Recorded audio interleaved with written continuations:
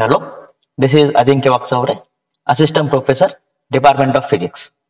This is the fourth video regarding electron optics. Now, in this video, I am going to explain the concept of motion of an electron in magnetic field. In class 12, students have already studied the concept of magnetic effect of electric current. Now, consider a wire carrying a current I in the downward direction. As we know that the flow of electron is opposite to the direction of current. So electron flow will be vertically upward as shown in the figure. Yeah, animation. This current carrying wire produces the magnetic field in the surrounding region. And the direction of that magnetic field is given by using the right hand thumb rule.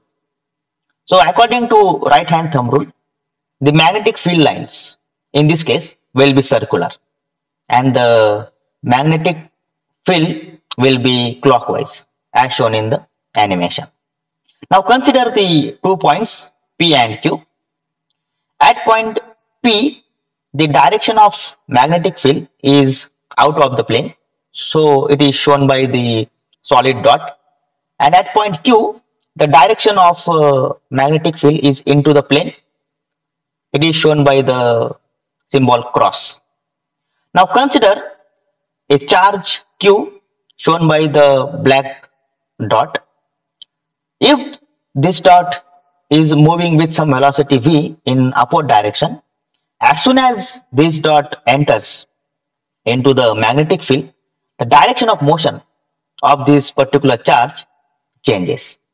So if the direction of velocity is changing, it means there should be some acceleration.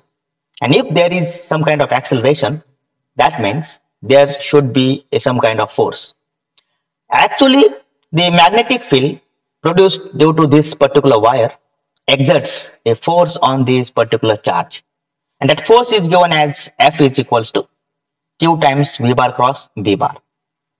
The direction of this force is given by the direction of V bar cross B bar. So once again, we can use the right hand rule to find out the direction. If the charge is positive, then the direction of force and the direction of V bar plus V bar will be same. And if the charge is negative, for example, electron, then the direction of force and the direction of V bar plus V bar will be opposite to each other. The magnitude of this magnetic force is given as F is equals to QVB sine theta, where theta is the angle between V and B. Keep this in mind. This particular magnetic force F is perpendicular to the velocity and magnetic field as, as well. So the force that is the magnetic force is perpendicular to the velocity of a charge. This is the property of uh, cross product. I hope you all know these basic things. Now let us consider the motion of an electron in a parallel magnetic field. Now, consider a magnetic field in the right direction. Magnetic field is shown by the letter capital B. Consider an electron shown in the figure. Now, this electron is moving along the x-axis, that is along the straight line path. Now, the velocity is along the x-axis magnetic field B is also along the x-axis. So the angle between the velocity and the magnetic field will be 0. So if the angle is 0, then by using the mathematics, I can write F is equals to QVB sine theta. This is the magnitude of the magnetic force. Now put the value of theta at 0. So F is equals to QVB sine 0 and uh, sine 0 is 0. So F is equal to 0. That means when an electron is moving through a parallel magnetic field, the force exerted by the magnetic field on an electron will be zero. So there will be no change in the velocity of an electron. So electron will follow the same path as shown in the animation. Now let us consider the motion of an electron in perpendicular magnetic field. Here, the angle between velocity of an electron and the magnetic field is 90 degree. So it is theta will be 90 degree. Now consider a magnetic field as shown in the figure denoted by capital letter B and uh, important thing is this the direction of the magnetic field is into the plane.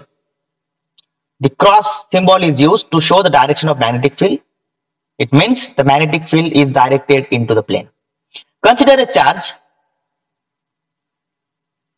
Now, if this charge enters into the perpendicular magnetic field, then that particular charge performs the circular motion as shown in the animation.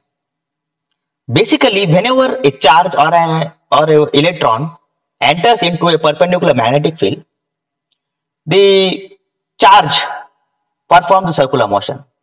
And uh, if the charge is performing the circular motion, that means there should be a, some kind of centripetal force because for the circular motion, centripetal force is the necessary force.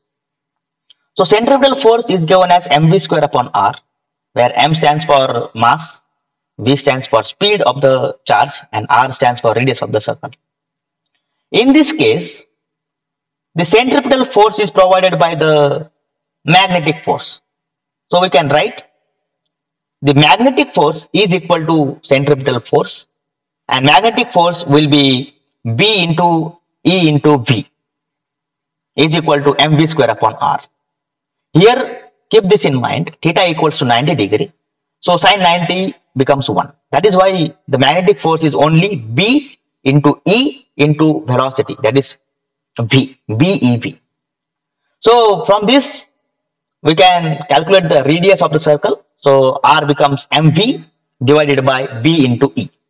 Here, I can write the radius as R proportional to M into V. M into V stands for the momentum. So radius is directly proportional to the momentum. That means if the momentum of a particle changes, then the radius of a circle will also change. Now, if I have the two charges moving with same velocity and having different masses, then the circles will be different. This is very, very important. So basically the radius of the circle is depends on the mass of the charge. Now if I have a charge having larger mass than the previous one.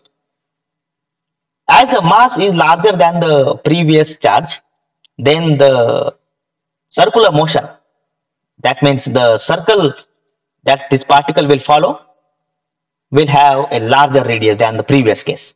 So, if this particle enters into the magnetic field, performs the circular motion, and you can see that the radius is quite larger than the previous case. So the meaning of this particular animation is whenever a charge or an electron is moving through a perpendicular magnetic field, then the charge or an electron perform the circular motion. Now let us discuss the mathematics behind the motion of an electron in a perpendicular magnetic field. Now, when the velocity of an electron is perpendicular to the magnetic field, then theta equals 90. We have already discussed this. So, the force acting on an electron will be E into V into B. Now, we should know the property that whenever the velocity and the force are perpendicular to each other, then the particle performs the circular motion. Always keep this in mind. And whenever the force and velocity is perpendicular to each other, then the work done by the force is also zero. So there will be no change in the kinetic energy of the particle. Now, circular path requires the centripetal force and in this case the centripetal force is provided by the magnetic force. So EBB is equal to mv square upon r. So r is equal to mv upon EB. We have already discussed this. So the time period of revolution can be calculated by using the formula T is equals to 2 pi R divided by V. So put the value of R, we get uh, T is equals to 2 pi by V into mv upon EB.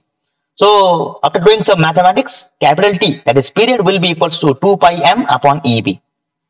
From the period, we can calculate the frequency of revolution as uh, f is equals to 1 upon t, that is reciprocal of time period, and that would be EB upon 2 pi m. So period and frequency are independent of velocity and radius of the orbit. So the conclusion is this, whenever an electron is moving through a perpendicular magnetic field, that electron performs the circular motion and the radius depends on the mass and the velocity as well.